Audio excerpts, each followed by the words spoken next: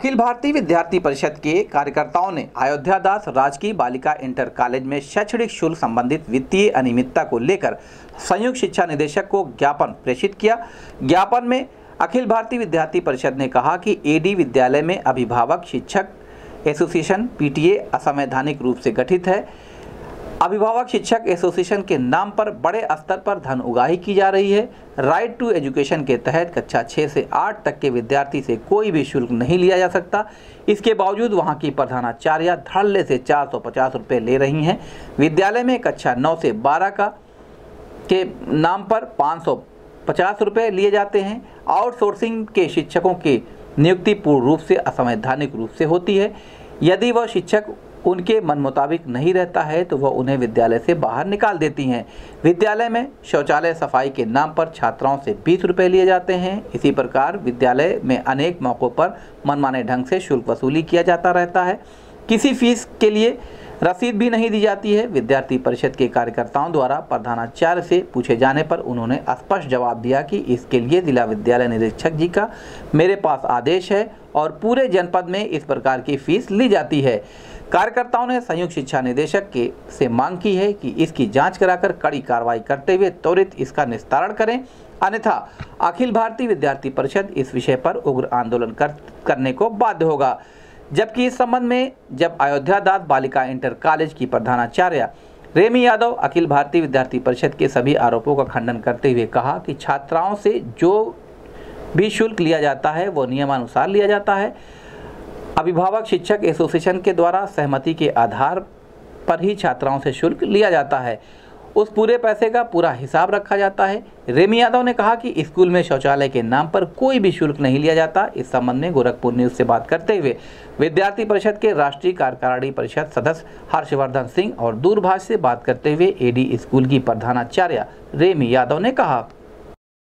बंद करो बंद करो। विद्यार्थी परिषद जिंदाबाद। जिंदाबाद जिंदाबाद। विद्यार्थी परिषद जिंदाबाद। जिंदाबाद जिंदाबाद। भारत माता की जय। शिक्षा का व्यापारीकरण। बंद करो बंद करो। शिक्षा का व्यापारीकरण। बंद करो बंद करो।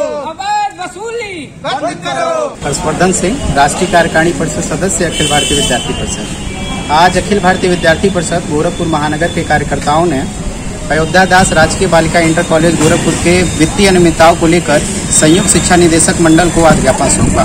जैसा कि पूर्व में अभिभावकों द्वारा और विद्यार्थियों द्वारा ये पता चला कि पीटीए के तहत वहाँ पे राइट टू एजुकेशन में जो छः से नौ तक के बच्चों की शिक्षा पूरी निःशुल्क है, वहाँ के विद्यार्थियों से वहाँ की प्रधानाचार्य महोदय धड़ल्ले से साढ़े चार सौ रुपये लेती हैं। और उस विद्यालय में कुल पच्चीस सौ विद्यार्थी पढ़ते हैं। इसके अनुरूप नौ से बारह तक के बच्चों के फ़ीस वो पीटीए के तहत साढ़े पाँच सौ रुपये लेती हैं, जो पूर्ण रूप से असंवैधानिक और गलत है।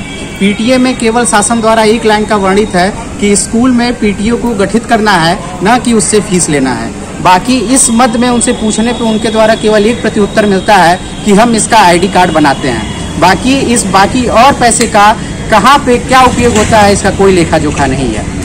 वहाँ पर वो विद्यार्थियों से बीस रुपए शौचालय की सफ़ाई के नाम पे लेती हैं। वहाँ पे जो आउटसोर्सिंग के शिक्षक नियुक्त होते हैं, उनकी नियुक्ति प्रक्रिया का कोई भी संवैधानिक तरीका नहीं है। जिनका मन होता है वो नियुक्त करती हैं, कुछ दिन रखती हैं, फिर उनको वापस कर देती हैं। ऐसे बहुत सारे विषय हैं जो उस विद्यालय में देखने को मिले हैं। और इन वित्तीय अनियमितताओं को लेकर अखिल भारतीय विद्यार्थी परिषद आज संयुक्त शिक्षा निदेशक मंडल से मिली। एबीवीपी वालों ने आपसे जो आरोप लगाया है उस पर क्या कहना है आपको? जो अखिल भारतीय विद्यार्थी परिषद ने आरोप लगाया है कि बच्चों से मनमाना शुल्क वसूल किया जा रहा है और शौचालय के लिए अलग से बीस रूपए धनराशि ली जा रही है। तो शौचालय के लिए जो बीस रूपए धनराशि की बात है वो एकदम गलत है इसमें एक परसेंट भी सच्चाई नहीं है।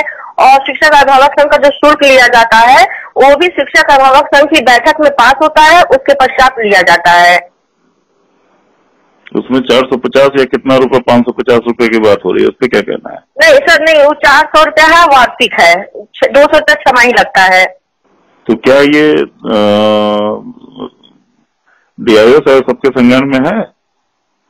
सर जैसे सब जगह पीटीए की पीटीए मतलब एसोसिएशन है संगठन है, अभिभावक संघ है और सभी विद्यालयों को जैसे अपने अपने जो, जो मतलब शिक्षा संघ की जो आम सभा की बैठक होती है और उसमें जो गार्जियंस उपस्थित होते हैं तो प्रत्येक विद्यालय का अलग अलग होता है जो जितना लेता हो उनके अभिभावकों से में जो सहमति बनती है जितने धनराशि के लिए उतना हर विद्यालय लेता है।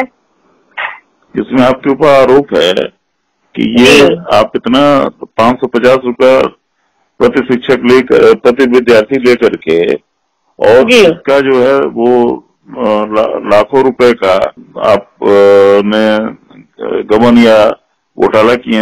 नहीं नहीं नहीं नहीं ये तो एकदम सरासर गलत है। पीटीए के एक एक पैसे का हिसाब है। और पीटीए का पैसा केवल प्रिंसिपल के सिग्नेचर से नहीं निकलता है। पीटीए में भी जो जो कार्यकारिणी की- का चुनाव होता है उस चुनाव में अध्यक्ष होते हैं कोषाध्यक्ष होते हैं उप मंत्री होते हैं और जो भी धनराशि निकलती है वो पीटीए के में से ही जो अध्यक्ष चुने गए होते हैं अभिभावकों में से उन्हीं के सिग्नेचर से निकलता है और वो सब जो है छात्राओं एवं विद्यालयों के सर्वांगीण विकास में ही खर्च होता है। जैसे हमारे यहाँ सात टीचर्स पीटीए की रूप से रखी गई हैं पाँच फोर्थ क्लास में रखे गए हैं।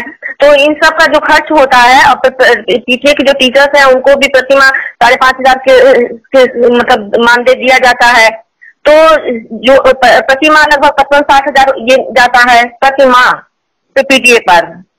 और भी जो भी काम होते हैं पीटीए से वो सब एक एक पैसे का उसमें हिसाब रहता है। कहीं एक पैसे का एकदम निराधार है।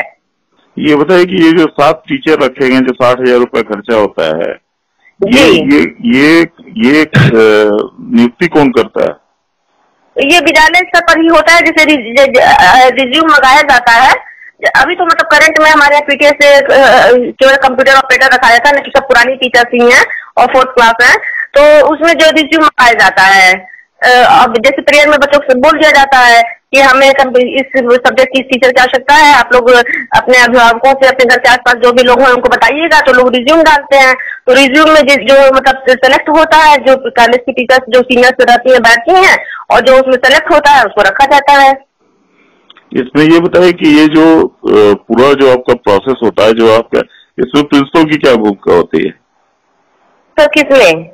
इस पूरे जो प्रकरण में पीटीएस के उसमें होती है जो आप ये करें उसमें ये अच्छा वो प्रिंसिपल जो होती है ना वो पटेल इसमें उपाध्यक्ष होती है।